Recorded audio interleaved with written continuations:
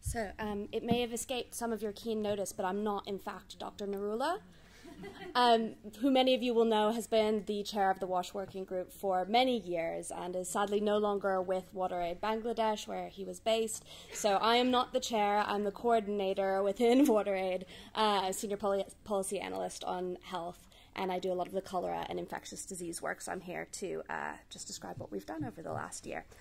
Also, like Lucy, I did not include the top line foci for the WASH working group. So, like the other technical working groups, we are here to provide normative and technical guidance on WASH related topics, but because WASH is uh, an inherently cross cutting and multi-sectoral piece of work, we also identify WASH specific needs and support cross cutting initiatives, including research, critically advocacy, and also training.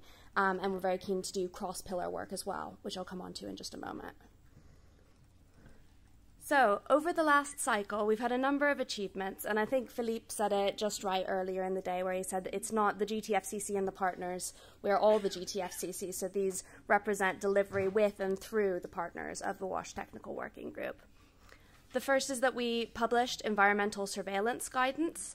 This is a technical guidance collaboration between WASH and Lab, which I think you've already seen mentioned on one of the previous slides. Also mentioned earlier in the day was the UN Water Conference joint side event with Solidarité Internationale, um, which ultimately culminated also in a call to action in the Water Action Agenda.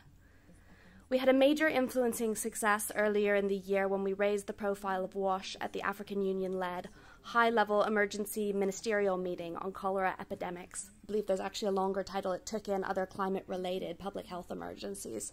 Um, critically important, we'll come on to that in a moment. There was a fantastic partner resource on testing and treatment strategies that could be used in different settings. And in addition to this, there was a huge amount of partner action research that sought to grow the evidence base on WASH for cholera control. Finally, we have another piece of really accessible WASH oriented guidance that's intended to support NCP development in countries which are not CSP focused countries. However, there were a number of interrelated challenges over the last year, and some of these will be very familiar from the other presentations and certainly to anyone who is here this morning. Um, the first is not at all unique to the WASH working group, but we certainly saw reduced partner capacity and as a result, involvement this is in the context not only of the ongoing cholera crisis, but of the many competing crises facing the partner organizations. There's certainly a need in the coming year not only to revitalize the membership, but also to grow it and bring in new partners, as I think Bruce talked about this morning. Really critical. Really closely interlinked with this is the growing impact of climate change on cholera and on WASH. And I think we heard this morning from my colleague in Malawi that there's a real risk of WASH backsliding as we see continued and intensified climate disasters. There's a lack of coherence between the emergency response and development approaches, and this is not only at the government level, but we also see it in our partner organizations and in the donors who support our work. And certainly not least, but very interrelated to my last point, was the disconnection between the high level political will that we see around cholera control and the lack of prioritization and the operational of that operationalization of that prioritization through finance that's really needed for WASH at the national level. Looking ahead to the next 12 months, we're going to stratify our, our uh, engagement across three different levels. The first is what we take forward within our WASH working group. The second is how we collaborate across the pillars of the GTFCC. And the third is who, how we partner with national and multilateral stakeholders beyond this group. So, for within the technical working group, our intention is to focus on just a few high impact work streams. And these are water quality monitoring, through which we'll target guidance development and national engagement. We've heard a lot today about WASH data, not only the need to strengthen the global data picture through JMP, but also the need for more granular data at the national and subnational level. And this is absolutely needed to guide impactful intervention. And finally, we'll continue to work closely with the CSP and with some of the other partners and pillars to strengthen and implement the WASH components of the NCPs, which we know and have heard today are the secret to long lasting and long term cholera prevention, control, and ultimately elimination. Beyond the WASH working group, it's absolutely imperative that we improve the integration and collaboration with the other pillars as well as with the advocacy task team.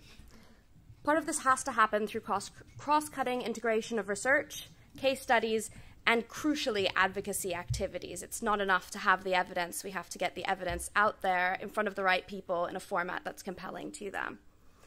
We've also heard a lot about climate change today, and we're very keen to continue contributing to the development of the climate annex of the research agenda, which is going to be so important going forward. And finally, certainly not least, it's very important that we address the underprioritization and lack of integration of WASH at the national levels, which is the real locus for change and implementation of programs.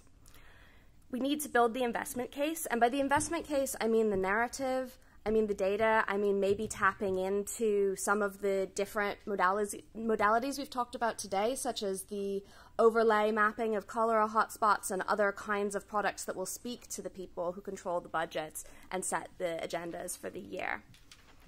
We need to integrate WASH into these national budget cycles, and we need to build the relationships with the relevant ministries, not only the WASH ministries and not only the health ministries.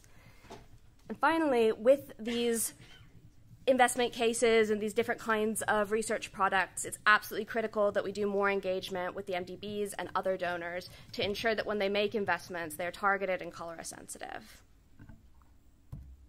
That's all from me. Thank you very much. Thank you.